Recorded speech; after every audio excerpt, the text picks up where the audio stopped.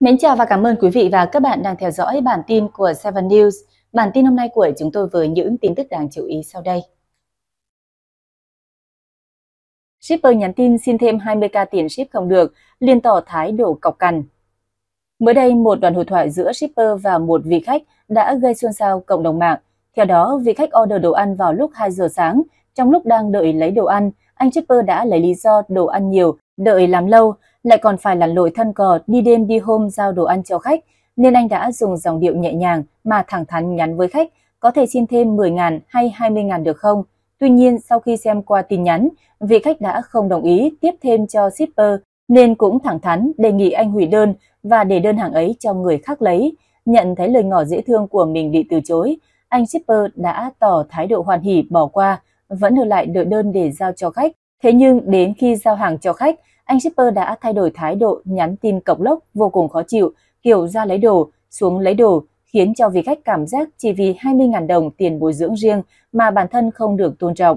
Đoạn hội thoại sau khi được đăng tải lên mạng xã hội đã có nhiều ý kiến trái chiều. Có người cho rằng vị khách Kibo có 20.000 đồng cũng tiếc, bên cạnh đó cũng có nhiều người chỉ trích thái độ thiếu tôn trọng khách hàng của anh shipper. Một số bình luận được mọi người để lại. Giá cả đã thỏa thuận từ đầu, sao cứ mặc định là khách phải bo thêm, đấy là công việc và là trách nhiệm trong công việc, đã chấp nhận kiếm tiền thì phải vậy thôi. Tôi mua đồ thường không lấy lại tiền thừa cơ, xin thẳng như vậy thì có một ngàn tôi cũng lấy lại, tôi đã từng bị rất nhiều shipper xin thêm tiền. Một phụ nữ đã chuyển tổng cộng 1,6 tỷ đồng sau cuộc gọi của đại úy quân đội thông báo sắp nhận được thùng hàng có tiền. Vừa qua bà Hát, sinh năm 1972, ngụ quận Bình Thạnh, thành phố Hồ Chí Minh, đã gửi đơn đến các cơ quan chức năng trình bày về việc bị lừa đảo số tiền 1,6 tỷ đồng. Trong đơn tố cáo, bà Hát cho biết, ngày 20 tháng 10 năm 2021, bà nhận được điện thoại của một người xưng là đại úy quân đội, thông báo có người gửi cho bà một thùng hàng, bên trong có tiền. Do thùng hàng này trốn thuế nên yêu cầu bà không được tiết lộ thông tin. Bên cạnh đó, đại úy còn thông báo thùng hàng sẽ đến tay bà sau vài ngày và yêu cầu bà Hát nộp thuế để nhận thùng hàng có tiền này. Sáng ngày 21 tháng 10 năm 2021, một phụ nữ xưng là đại lý ngoại giao của Hải quan Hà Nội điện thoại cho bà Hát yêu cầu nộp 38 triệu đồng vào tài khoản tên là Bế Thị Ngọc.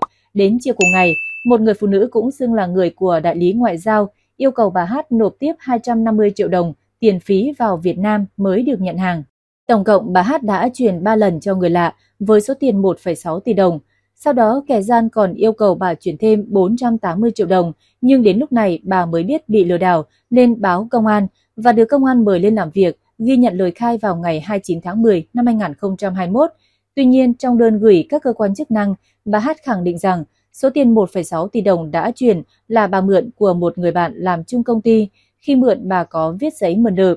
Số tiền 1,6 tỷ đồng là do tôi mượn của cô T, khi mượn có viết giấy mượn nợ nhưng thực tế tôi không cầm đồng nào mà do cô Tê chuyển tiền trực tiếp qua app điện thoại cho các đối tượng lừa đảo, bà Hát trình bày.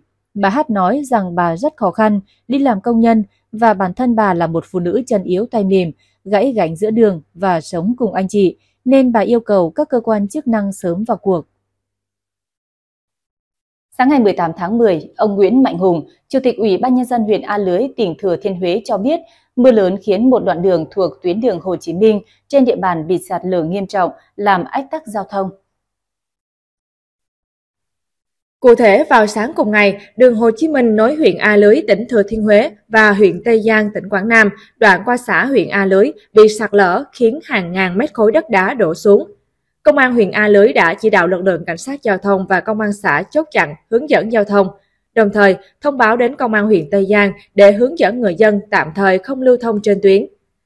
Hiện Ủy ban Nhân dân huyện A Lưới đang tích cực phối hợp với lực lượng khẩn trương khắc phục sạt lở để giao thông sớm thông suốt trở lại. Theo Ban Chỉ huy Phòng chống thiên tai và tìm kiếm cứu nạn tỉnh Thừa Thiên Huế cho biết, trong đêm 17 và sáng 18 tháng 10, tại địa phương có mưa to đến rất to trên diện rộng với lưu lượng từ 100 đến 200 mm, có nơi trên 300 mm. Để đảm bảo an toàn đập và vùng hạ du, toàn bộ các hồ thủy lợi, thủy điện trên địa bàn là Hương Điền, Bình Điền và Tả Trạch đã thực hiện lệnh điều tiết nước về hạ du. Cơ quan Cảnh sát điều tra Công an huyện Hàm Tân đã khởi tố vụ án hình sự bắt tạm giam bị can Lường Đình Luân, người đi cùng xe với phụ huynh đến nhà đánh trọng thương thầy Nguyễn Đình Thiều, Phó Hiệu trưởng Trường Trung học Phổ thông Hàm Tân, Bình Thuận. Đại tá Đinh Kim Lạp, Phó Giám đốc, Thủ trưởng Cơ quan Cảnh sát điều tra Công an tỉnh Bình Thuận cho biết, sáng ngày 18 tháng 10, Cơ quan Cảnh sát điều tra Công an huyện Hàm Tân đã ra quyết định khởi tố vụ án hình sự, khởi tố bị can và ra lệnh bắt tạm giam 3 tháng đối với Lường Đình Luân để điều tra theo quy định pháp luật. Cũng theo Đại tá Đinh Kim Lập, vụ án này sẽ là vụ án điểm mà công an địa phương điều tra, xử lý hành vi vi phạm pháp luật. Cơ quan Cảnh sát điều tra Công an tỉnh Bình Thuận đã chỉ đạo Công an huyện Hàm Tân cùng các bác sĩ pháp y vào bệnh viện để giám định thương tật thầy Nguyễn Đình Thiều do vụ án gây bức xúc dư luận xã hội. Tối qua ngày 17 tháng 10, Cơ quan Cảnh sát điều tra Công an tỉnh Bình Thuận và lực lượng pháp y Bình Thuận đã vào bệnh viện ở thành phố Hồ Chí Minh, nơi thầy Thiều đang điều trị để thông báo quyết định giám định pháp y thương tích cho người bị hại, làm cơ sở để xử lý hình sự theo quy định của pháp luật. Theo kết quả ban đầu của cơ quan pháp y, thầy Nguyễn Đình Thiều bị gãy xương chín mũi, chấn thương xương nề vùng mũi, vách ngang mũi, chấn thương xương nề bầm tím mắt trái, xuất huyết kết mạc mắt trái, gãy thành trong hốc mắt trái, xuất huyết bầm tím mặt trong mi trên, mi dưới mắt trái, chấn thương xương nề hàm trên bên trái, mẻ răng, đang được điều trị tại bệnh viện. Căn cứ thông tư số 22 của Bộ Y tế vào ngày 28 tháng 8 năm 2019, xác định tạm thời tỷ lệ tổn thương của thầy Nguyễn Đình Thiều từ 13% đến 16%. Thầy Nguyễn Đình Thiều cho biết, tối qua ông đã ký vào đơn đề nghị khởi tố vụ án hình sự, khởi tố bị can, đã cố ý xâm phạm thân thể mình và đưa cho đại diện cơ quan điều tra ngay tại bệnh viện. Gã đàn ông kiếm tiền bằng cách giao bán các cô gái khuyết tật. Một vlogger người Vân Nam Trung Quốc vừa bị cảnh sát bắt giữ với cáo buộc bán phụ nữ khuyết tật dưới chiêu bài cung cấp dịch vụ mai mối. Người này kiếm được khoản tiền rất lớn sau mỗi phi vụ môi giới thành công. Người đàn ông này đến từ tỉnh Vân Nam, Trung Quốc, được biết đến trên trang mạng xã hội với cái tên là Kaigi, có 143.000 người theo dõi. Trong những bài đăng gần đây, Kaigi chia sẻ thông tin về những người phụ nữ khuyết tật muốn kết hôn nhưng lại cung cấp thông tin sai lệch về khuyết tật và tính cách của họ. Kaigi cũng liệt kê rõ ràng mức giá cho mỗi cô dâu trong video. Chẳng hạn trong một video quay cô gái nông thôn 21 tuổi bị thiểu năng trí tuệ, Kaigi mô tả cô này có trí thông minh ở mức 80%, ngoan ngoãn và có thể kiếm sống ổn định, đồng thời đưa ra mức giá môi giới là 188.000 nhân dân tệ, tương đương 630 triệu đồng. Trong một video khác, cô gái 24 tuổi bị câm được vlogger mô tả là chưa lập gia đình và đang muốn lấy chồng, mức giá là 160.000 nhân dân tệ, tương đương 537 triệu đồng. Về sau mọi người mới phát hiện Thông tin và cai ghi cung cấp về các cô gái trên mạng xã hội không đúng với sự thật. Trung bình mức giá anh ta đưa ra cho những cô dâu khuyết tật dao động từ 60.000 đến hơn 120.000 nhân dân tệ, tương đương 200 đến 400 triệu đồng. Sau một thời gian hoạt động, dịch vụ mai mối của Kaigi bị nhiều người tố lừa đảo. Anh ta bị gọi là kẻ buôn người, kiếm lời từ những người phụ nữ khuyết tật dưới chiêu bài mai mối. Ngày 11 tháng 10, đại diện của tổ chức phụ nữ địa phương lập các nhóm công tác để điều tra Việc anh ta lấy hình ảnh các người phụ nữ khuyết tật trên mạng và phổ biến thông tin sai lệch, người đàn ông này cũng đã bị cảnh sát bắt giữ. Huế giải thích lý do ra lệnh thủy điện xả nước lúc 3 giờ sáng. Ngày 18 tháng 10, nhiều người dân ở Thừa Thiên Huế cho biết họ bức xúc khi nhận được thông tin từ Văn phòng Ban Chỉ huy Phòng chống thiên tai và tìm kiếm cứu nạn tỉnh ra lệnh cho Thủy điện Hương Điền xả nước lúc 3 giờ sáng cùng ngày. Trước đó do trên địa bàn có mưa to đến rất to, có nơi đặc biệt to nên tỉnh Thừa Thiên Huế đã lệnh cho Thủy điện Hương Điền xả nước đón lũ với lưu lượng từ 200 đến 400 mét khối trên giây. Tuy nhiên đến 3 giờ sáng ngày 18 tháng 10, tỉnh này lại ra lệnh cho Thủy điện Hương Điền xả nước với lưu lượng 400 đến 1.000 mét khối trên giây, tăng gấp nhiều lần so với lưu lượng cũ. Đến 6 giờ sáng cùng ngày, Thủy điện Hương Điền lại được lệnh xả nước với lưu lượng 1.100 đến 2.000 mét khối trên giây về hạ du. Ông Đặng Văn Hòa, chánh văn phòng Ban Chỉ huy Phòng chống thiên tai và tìm kiếm cứu nạn Thừa Thiên Huế cho biết, việc thông báo xả nước ở Thủy điện Hương Điền lúc 3 giờ sáng là bình thường và đúng quy trình. Theo ông Hòa, vào thời điểm này nước từ thượng nguồn về hồ thủy điện có lúc đạt đến 3.000 mét khối trên giây. Không chỉ ở thủy điện Hương Điền mà cả thủy điện Bình Điền, hồ Tả Trạch cũng nhận lượng nước về hồ hơn 1.000 mét khối trên giây vào rạng sáng nay. Ông Hòa nói theo quy định, chỉ cần đầu hồ mở cửa đập xả nước thì ban mới thông báo trước giờ xả là 4 tiếng đồng hồ và có ghi chú sẽ điều chỉnh tùy theo tình hình thực tế. Dù thông báo là 3 giờ sáng sẽ tăng lưu lượng xả, nhưng thực tế hồ thủy điện sẽ tăng dần dần, tức là mỗi giờ điều chỉnh sẽ tăng khoảng 100 mét khối trên giây, tránh gây đột biến cho dưới hạ du. Đến sáng nay thì hồ thủy điện Hương Điền chỉ còn 0,4 mét nữa là đạt ngưỡng tràn xả lũ, ông Hòa nói. Sát hại người lạ vì nghĩ bị khiêu khích, Ngày 18 tháng 10, cơ quan cảnh sát điều tra công an tỉnh Bà Rịa Vũng Tàu cho biết đang tạm giữ hình sự Nguyễn Thanh Hùng 40 tuổi trú xã Phước Tỉnh, huyện Long Điền, tỉnh Bà Rịa Vũng Tàu để điều tra về hành vi giết người. Vụ án khiến người dân địa phương bất an khi nghi phạm Hùng bất ngờ dùng dao đâm chết người đàn ông rồi bỏ trốn. Khoảng 5 giờ sau thì bị bắt giữ. Theo điều tra ban đầu, khoảng 13 giờ ngày 17 tháng 10, ông H 37 tuổi trú thành phố Vũng Tàu đang ngồi nhậu cùng một người bạn tại trước nhà số 34 trên 19, đường Bắc Sơn, phường 11, thành phố Vũng Tàu, thì Nguyễn Thanh Hùng đi tới ngồi đối diện.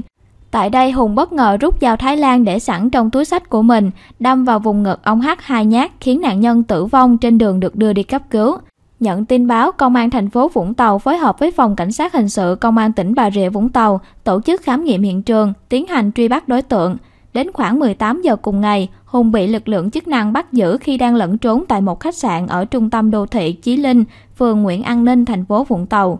Tại cơ quan công an, bước đầu Hùng khai nhận vào trưa ngày 17 tháng 10, trong lúc đi tìm bạn gái ở khu vực đường Bắc Sơn thì thấy ông H đang ngồi nhậu cùng bạn, cho rằng ông H nhìn đểu, khiêu khích mình nên hắn ta rút dao đâm nạn nhân. Ngoài ra Hùng còn khai nhận bản thân đã có hai tiền án, Quá trình làm việc, cơ quan công an xác định khi gây án vụ việc trên, khoảng 2 giờ trước Hùng đã dùng dao gây thương tích cho một người khác tại ấp Lò Vôi, xã Phước Hưng, huyện Long Điền. Sau đó chạy trốn sang thành phố Vũng Tàu. Cơ quan điều tra đang tiếp tục điều tra làm rõ vụ việc. Lý lịch bất hảo của gã trai hành hạ con riêng của người tình Viện Kiểm sát Nhân dân thành phố Hồ Chí Minh vừa ban hành cáo trạng truy tố bị can Lê Văn Bậm, 44 tuổi, về tội hành hạ người khác và tàn trữ trái phép chất ma túy. Liên quan tới vụ án, bị can Nguyễn Thảo Nguyên, 23 tuổi, mẹ nạn nhân, bị truy tố về tội hành hạ người khác. Theo hồ sơ vụ án, bị can Bậm là con đầu trong gia đình có 6 anh chị em. Ngày 18 tháng 3 năm 1998, Bậm bị Tòa án Nhân dân thành phố Hồ Chí Minh tuyên 3 năm tù về tội giao cấu với trẻ em, thi hành án tại trạm giam Thủ Đức, Bộ Công an. Vừa ra tù đầu năm 2000, anh bị Tòa án Nhân dân thành phố Hồ Chí Minh phạt 10 năm tù về tội tàn trữ trái phép chất ma túy. Sau khi chấp hành xong hình phạt trên, Bậm trở về địa phương, quen biết với một người phụ nữ rồi nhanh chóng nên duyên vợ chồng, sinh ba con. Dù có vợ con nhưng anh ta không tu chí làm ăn, sử dụng ma túy và tiếp tục phạm tội nên người vợ quyết định đường ai nấy đi. Năm 2014, Bậm bị Tòa án Nhân dân quận 3 thành phố Hồ Chí Minh tuyên phạt 9 năm tù về tội tàn trữ trái phép chất ma túy. Chấp hành xong hình phạt, Bậm trở về địa phương đi làm thuê. Trong quá trình đi làm, anh ta quen biết với Nguyễn Thảo Nguyên và sống chung như vợ chồng tại huyện Hóc Môn, thành phố Hồ Chí Minh. Quá trình chung sống với Nguyên và hai con của nhân tình, Bậm cho rằng bé nợ hay khóc và không nghe lời nên hành hạ bé để hù dọa, vừa làm thú vui tiêu khiển. Đầu tháng 3 vừa qua, anh Tê, chồng Nguyên, cai nghiện xong trở về tìm thăm các con. Do trước đây anh Tê và Nguyên bán hàng online, nên người đàn ông này có mượn lại tài khoản Facebook tên Thảo Nguyên của vợ. Khi đăng nhập, anh Tê phát hiện các đoạn clip bậm hành hạ Tê trong tin nhắn được gửi đi. Trong đó đoạn clip quay lại cảnh bậm cho bé Tê sử dụng chất nghi là ma túy. Anh Tê nhờ một người bạn đưa clip lên mạng, rồi đến công an xã Bà Điểm, huyện Hóc Môn trình báo sự việc. Vụ án đang được Tòa án Nhân dân huyện Hóc Môn thụ lý và dự kiến sẽ xét xử sơ thẩm trong tháng 11. Liên quan đến vụ xe tải 31 tấn lưu thông qua cầu treo 3,5 tấn gây hư hỏng nặng, sáng ngày 18 tháng 10, ông Nguyễn Thanh Bằng, tránh văn phòng Ban An toàn Giao thông tỉnh Cà Mau cho biết, đơn vị vừa có văn bản đề nghị địa phương làm rõ trách nhiệm. Cụ thể, Ban An toàn Giao thông tỉnh Cà Mau đề nghị Chủ tịch Ủy ban Nhân dân huyện, kiêm trưởng Ban An toàn Giao thông huyện Trần Văn Thời tổ chức kiểm tra, làm rõ trách nhiệm của tổ chức cá nhân có liên quan trong vụ việc xe quá tải trọng lưu thông, gây hư hỏng cầu dân sinh. Theo ông Bằng, các cầu và đường trên địa bàn huyện Trần Văn Thời có tải trọng dưới 13 tấn. Xe tải này khả năng vượt quá tải cầu đường trước khi lưu thông qua cầu treo dân sinh. Do đó, Ban an toàn giao thông tỉnh đề nghị địa phương làm rõ vấn đề này để đánh giá lại công tác kiểm soát tải trọng xe trên địa bàn. Vì sao lại xảy ra tình trạng vi phạm tải trọng đi qua nhiều nơi, nhiều cây cầu như thế? Ông bạn thông tin thêm.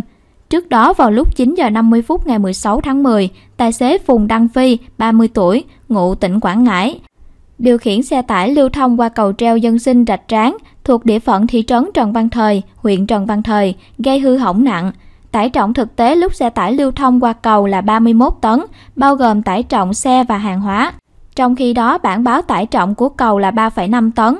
Hậu quả đã gây lún, biến dạng thanh lan can cầu, ảnh hưởng đến các phương tiện lưu thông qua cầu. Ước tính thiệt hại theo báo cáo của đơn vị quản lý cầu khoảng 5 tỷ đồng. Qua test nhanh, chất ma túy và nồng độ cồn đối với tài xế Phùng Đăng Phi đều cho kết quả âm tính. Đấu giá biển số sáng 18 tháng 10, biển 98A65555 được giá cao nhất 580 triệu đồng. 212 biển số ô tô được công ty đấu giá hợp danh Việt Nam đưa ra đấu giá trực tuyến hôm nay 18 tháng 10, chia làm 4 phiên vào các khung giờ quen thuộc là 8 đến 9 giờ, 9 giờ 30 đến 10 giờ 30, 14 giờ đến 15 giờ và 15 giờ 30 đến 16 giờ 30. Trong khung giờ đấu giá đầu tiên của buổi sáng, những biển số tứ quý vẫn thu hút được sự chú ý. Trong đó, biển số được trả cao nhất phiên đấu giá này thuộc về biển kiểm soát 98A 65555 Bắc Giang với 580 triệu đồng. Biển kiểm soát 70A 47777 ở Tây Ninh được trả 510 triệu. Biển kiểm soát 62A 37777 Long An được trả 455 triệu đồng. Biển kiểm soát 51K 81888 Thành phố Hồ Chí Minh được trả 420 triệu. Biển sảnh tiến 6789 được dân chơi dịch là sang bằng tất cả cũng được đấu thành công với mức giá khá cao. Trong đó, biển kiểm soát của Hà Nội 30K 46789 được trả giá cao nhất với mức 460 triệu, còn biển số An Giang 67A 26789 được trả giá 310 triệu. Trong cả hai phiên đấu giá biển số vào sáng 18 tháng 10, có 56 trên 107 biển số được đấu giá thành công, chỉ chiếm trên 50%. Trong đó, biển kiểm soát tới quý năm của Bắc Giang là 98A 65555, trúng đấu giá với số tiền cao nhất là 580 triệu đồng. Những thông tin vừa rồi đã khép lại chương trình hôm nay của chúng tôi. Cảm ơn quý vị đã quan tâm theo dõi. Đừng quên nhấn like, share và đăng ký kênh để theo dõi những tin tức mới nhất mà chúng tôi cập nhật mỗi ngày.